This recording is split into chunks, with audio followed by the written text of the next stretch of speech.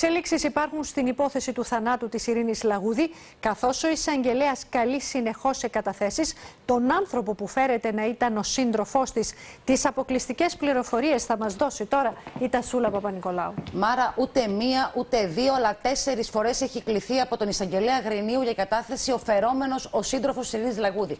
Μέσα σε διάστημα λιγότερο των 60 ημερών, όσο δηλαδή έχει και τη δικογραφία ο δικαστικός λειτουργός στα χέρια του. Υπάρχουν κενά στην υπόθεση του θανάτου της άτυχης γυναίκας γυναίκα και ο συγκεκριμένος άντρας φέρεται να είναι και ο τελευταίος άνθρωπος που τη συνάντησε. Είναι και ο άνθρωπος που δέχτηκε τα απειλητικά μηνύματα της μητέρας λίγο πριν πεθάνει. Το ερώτημα είναι γιατί καλείται τόσες πολλές φορές για κατάθεση, δεδομένου ότι έχει δώσει άλλες τρεις καταθέσεις στην αστυνομία. Σύνολο δηλαδή 7. Ο εισαγγελέας δεν κλείνει την υπόθεση γιατί πρώτον περιμένει τα αποτελέσματα από τα εργαστήρια της αστυνομίας και δεύτερον έχει ζητήσει ο ίδιος να γίνουν κάποιες επιπλέον έρευνες και να διευκρινιστούν σκοτεινά σημεία της υπόθεσης. Το μυστήριο παραμένει για το αν τελικά η Ειρήνη Λαγούδη δολοφονήθηκε στις 6 Ιανουαρίου στην παραλία της Μυρτιάς και από ποιους; Σε επικοινωνία που είχαμε με την οικογένεια της άτυχης μητέρας, μας είπαν Μάρα ότι έχουν υπομονή και θέλουν να τιμωρηθούν οι δολοφόνοι. Τασούλα, να σε ευχαριστήσω για τις αποκαλυπτικές πληροφορίες.